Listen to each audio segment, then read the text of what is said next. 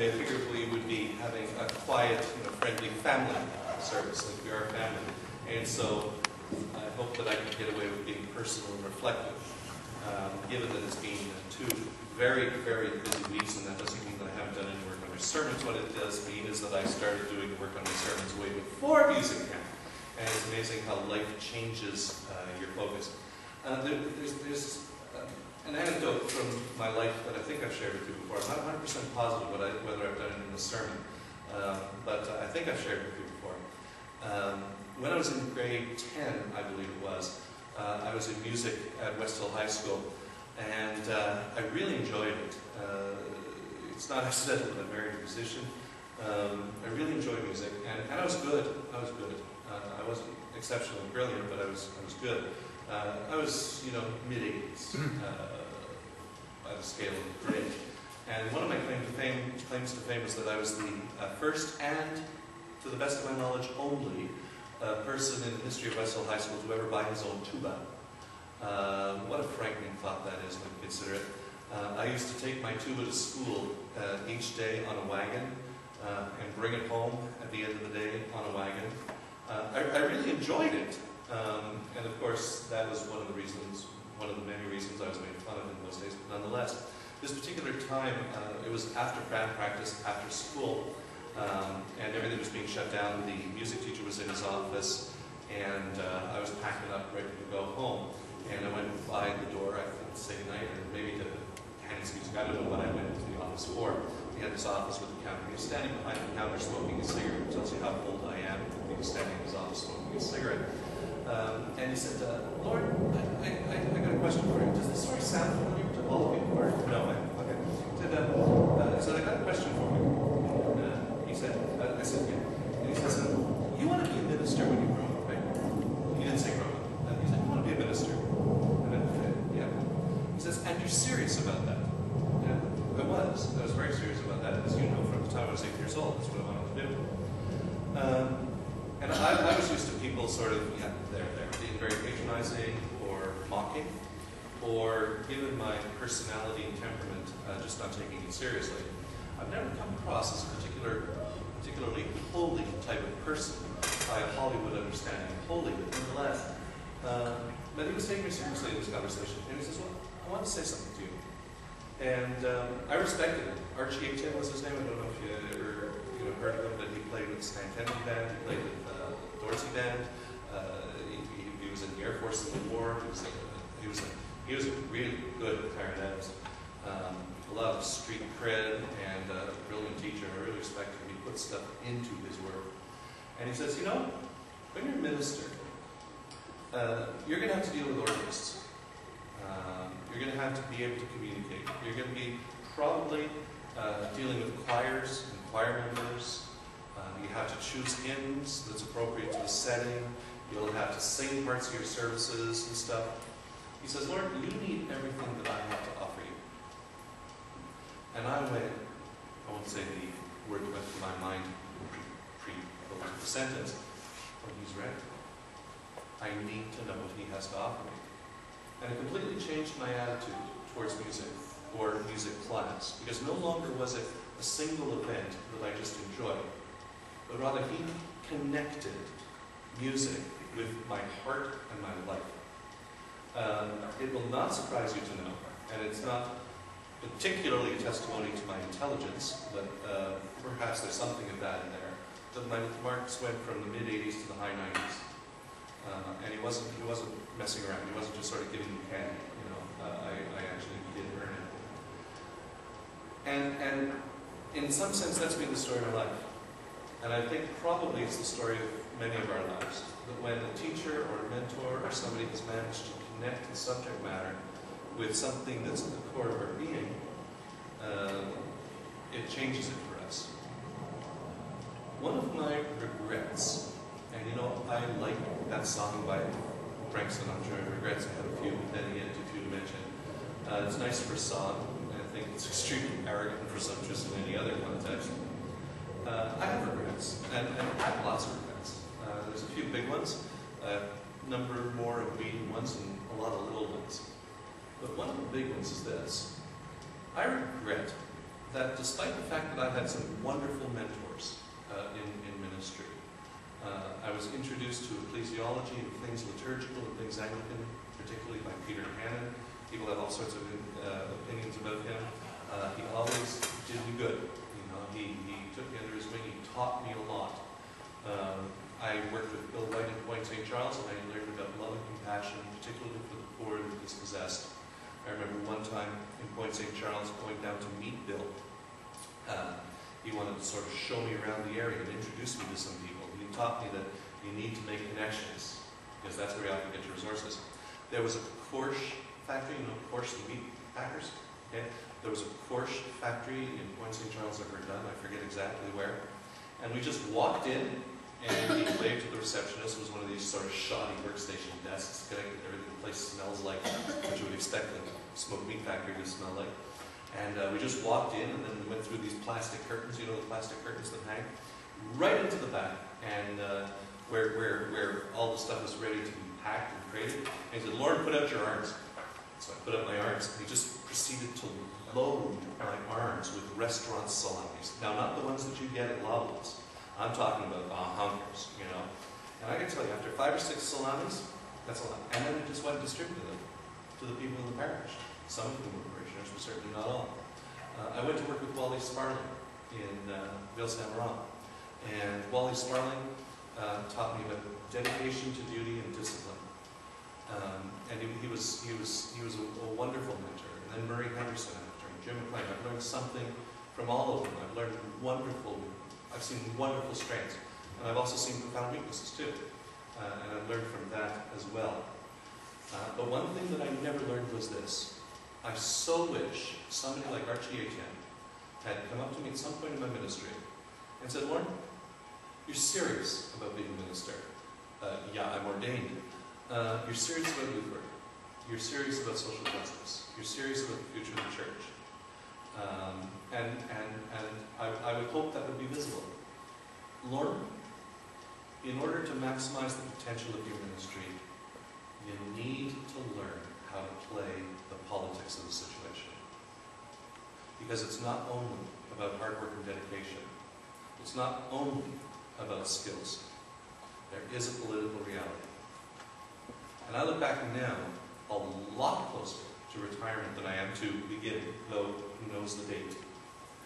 And I think that if somebody had had that conversation with me, in the same way that Archie Etienne had a conversation about music, it would have profoundly changed my ministry. To know how to deal with the political realities without compromising the principles.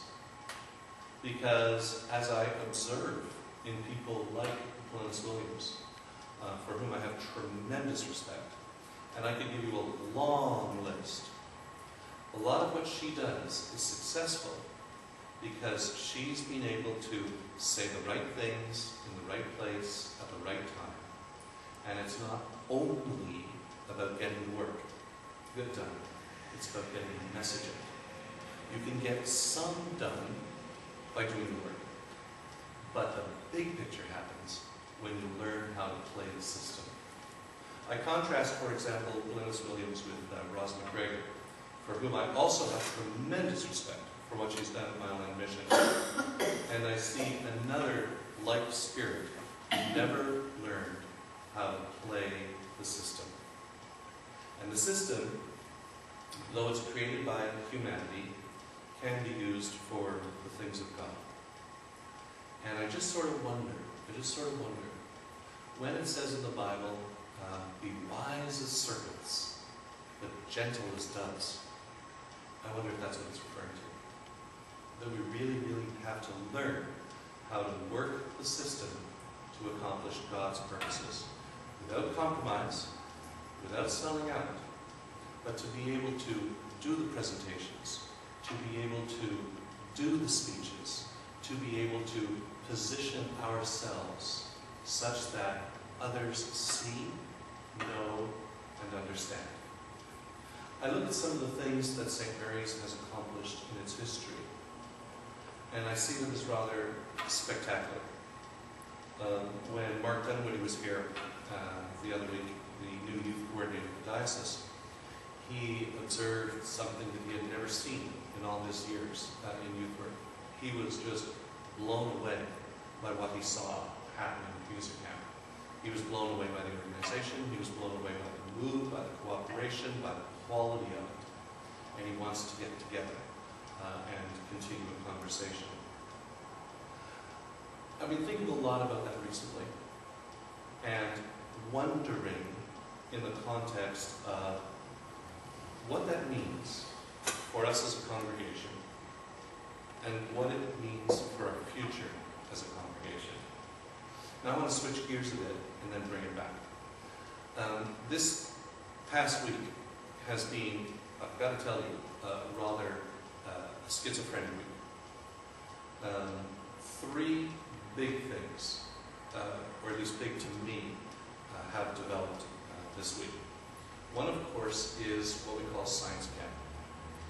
And a number of years ago, Marie and I had a conversation, and I'm not sure whether it was just us, maybe Bethany was there, maybe some other people were there. And one of the things we realized was that music camp, good as it was, was basically attracting a clientele of girls. And we really wanted to get guys in. Well, you know, at science camp this week, that's, that's where science camp came from. At science camp this week, there was one afternoon where I was sitting in the craft room, getting all sloppy with gloopy paper and all the rest of it. And it was a group of only boys. Now that's not to say anything against girls, but it was a group of only boys. And another one of the groups, uh, I may be mistaken to the exact number, but I looked around and I think it was something like eight boys and four girls. You know, there's a way to do it so that it works. There's a way to do it so that it works. So that was one thing that was going on. Uh, I was also looking around at just the spectacular talent pool.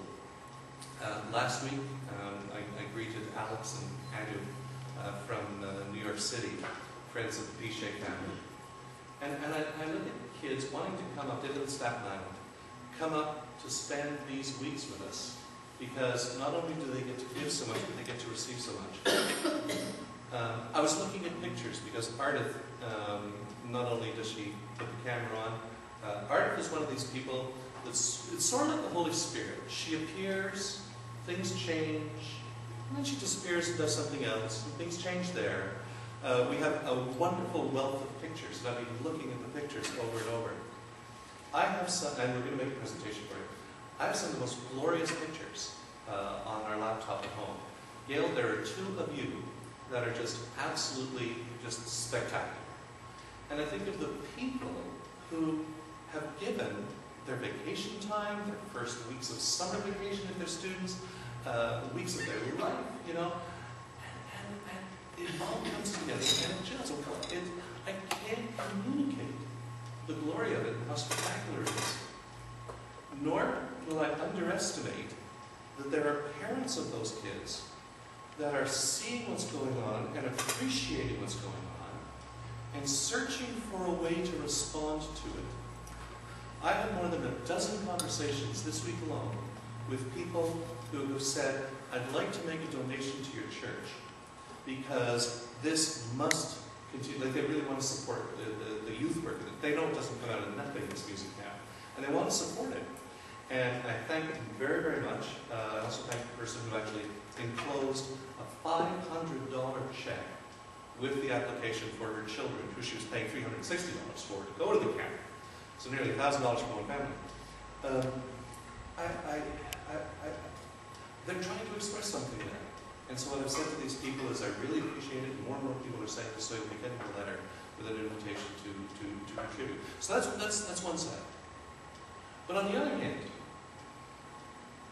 I've also been thinking this week, in light of the refugee thing that I've been talking about, that while we're doing this in a healthy, safe, wonderful environment, there are 85 million refugees, sometimes living in unbelievably horrendous circumstances, who need to find a place of safety and security where they can rebuild their lives because they've lost everything in, in human terms.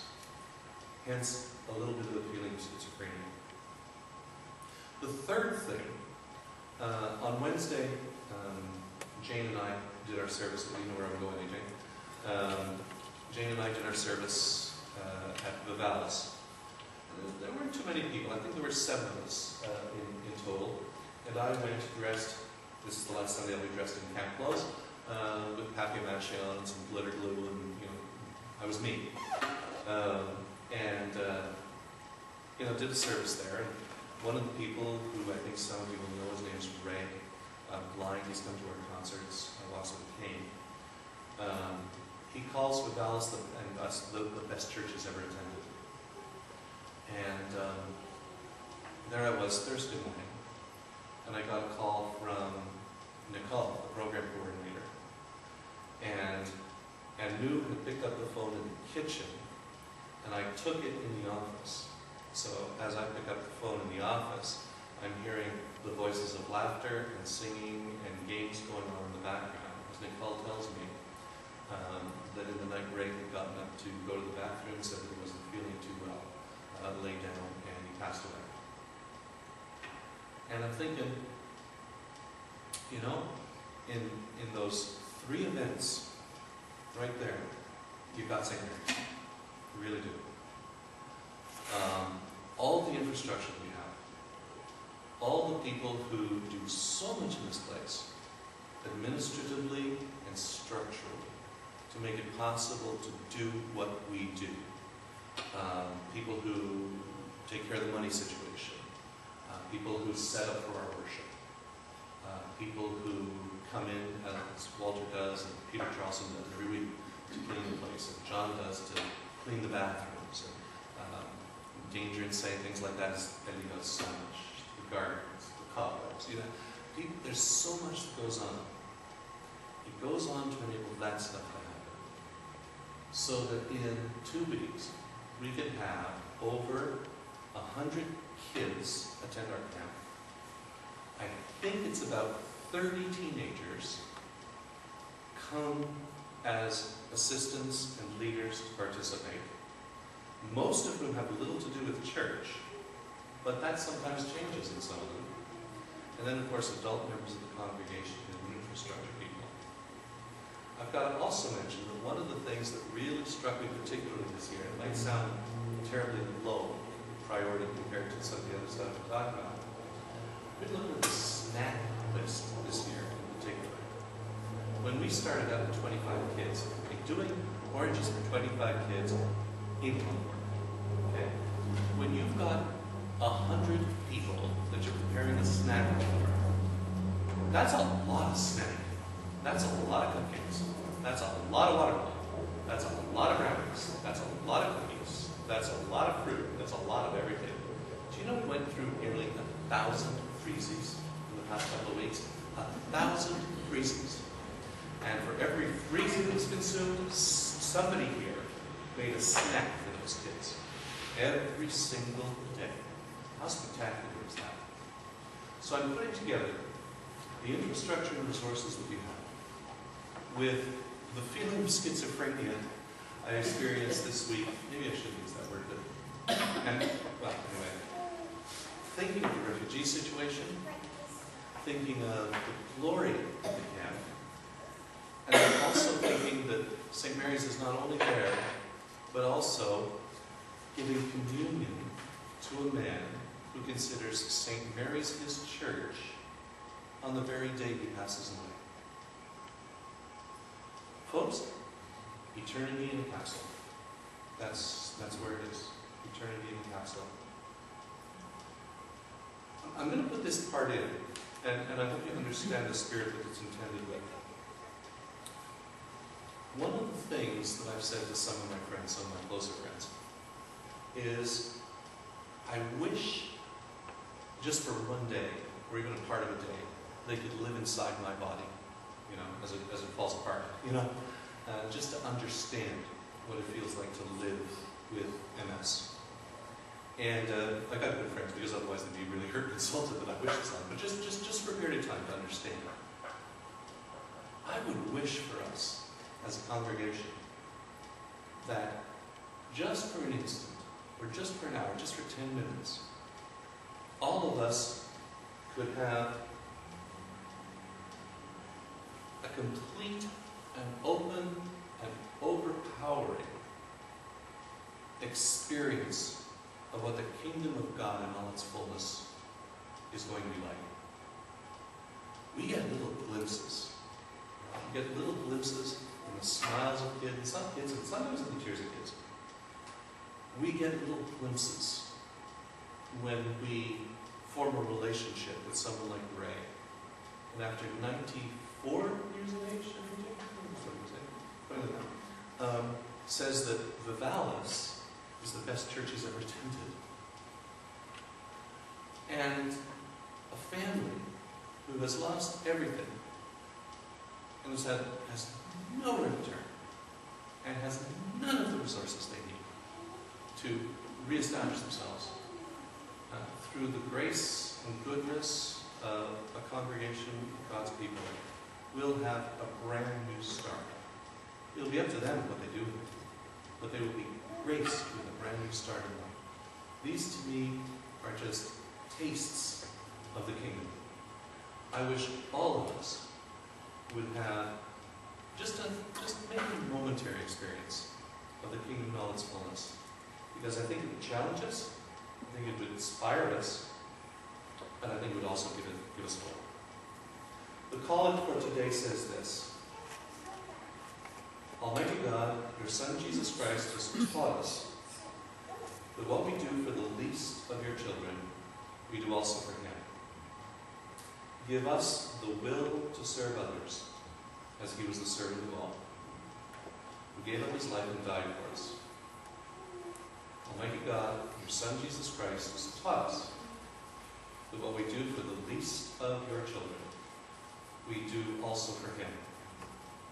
Give us the will to serve others as he was the servant of all. May that prayer be more and more true each day and each week for us at St. Mary's. Amen. Let's pray.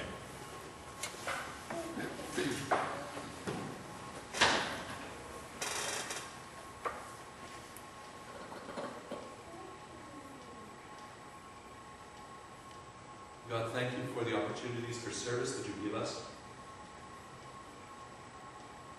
Thank you for the people that you bring across our path. Sometimes for a moment, sometimes for a lifetime. Thank you for reuniting friends.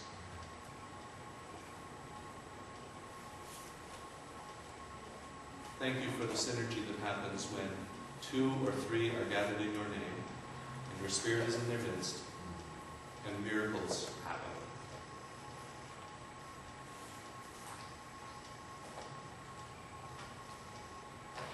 Thank you for at least some of those who attended our camps and parents of those who attended our camps, um, their eyes have been opened just a little bit more, maybe more than a little bit more, uh, to the possibilities that Christianity offers.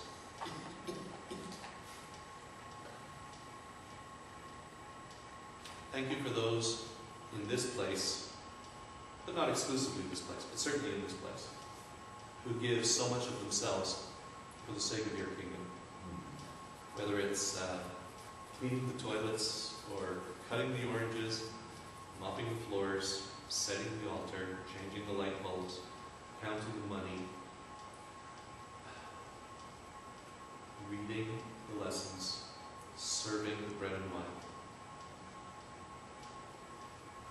building loving relationships, serving the poor.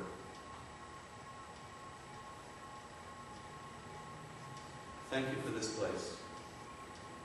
Thank you for the physical resources you give to us, broken and battered though they sometimes are.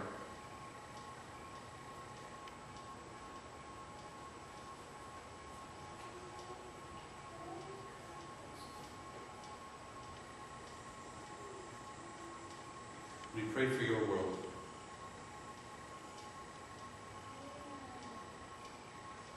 We pray those who are victimized by the arrogance of others, for those who are dominated who are powerless,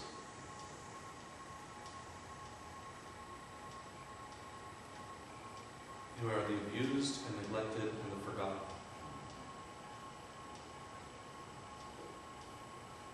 Pray for those who work in ministries of advocacy, people like Glennis Williams and uh, Ross McGregor.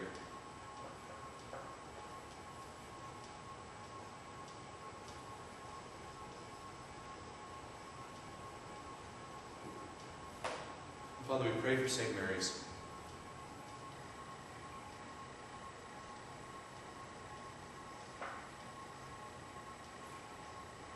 Obviously, it's your church, not ours, and you have a will for this place.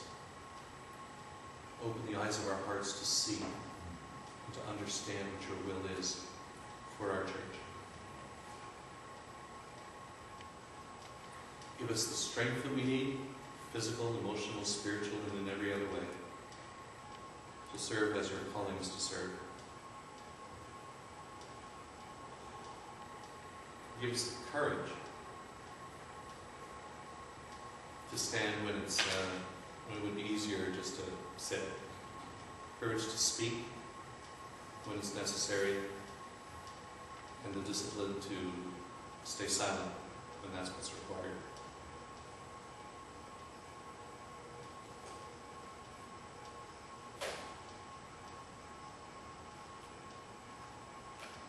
We pray for our communities.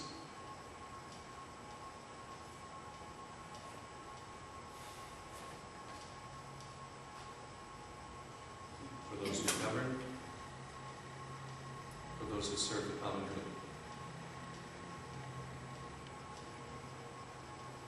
Lord, let your light shine.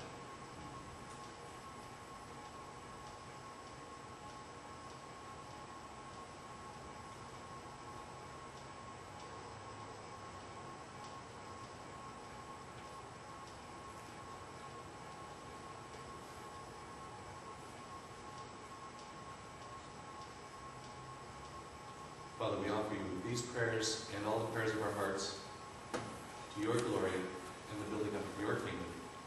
In Jesus' name, amen.